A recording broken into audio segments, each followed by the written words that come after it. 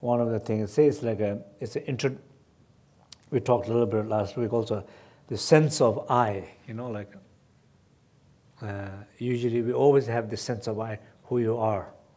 We talked about right from from childhood until now. How many times you have changed it, changed that. You thought one, you, you thought one somebody, then you turn out to be that's not you who you are. You, another one, another one, another one until now. And then probably right now you have very clear sense of who you are. And we also know that will not last forever. So that some sense of self, conventional sense of self keep changing con continuously. But truly sense of who you are is that, I mean, the answer is that awareness in that boundless space.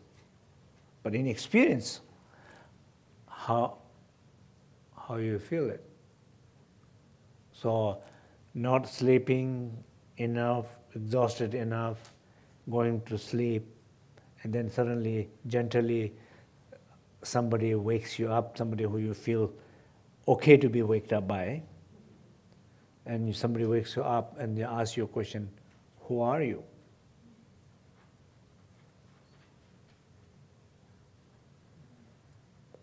And that very moment,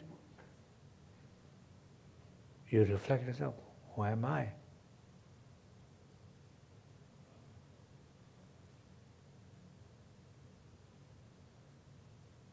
I'm this clear presence.